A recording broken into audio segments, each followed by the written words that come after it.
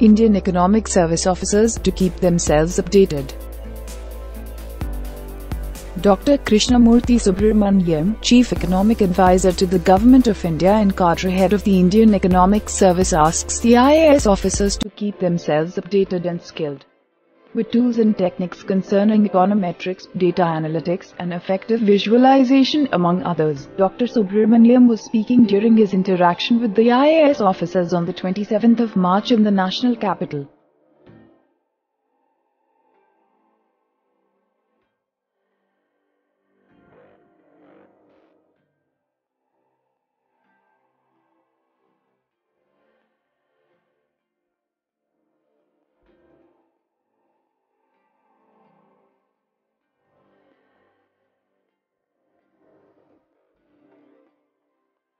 As the importance of specialization in policy making is increasing constantly, IES officers need to constantly engage with academia and the private sector to provide sharp economic analysis.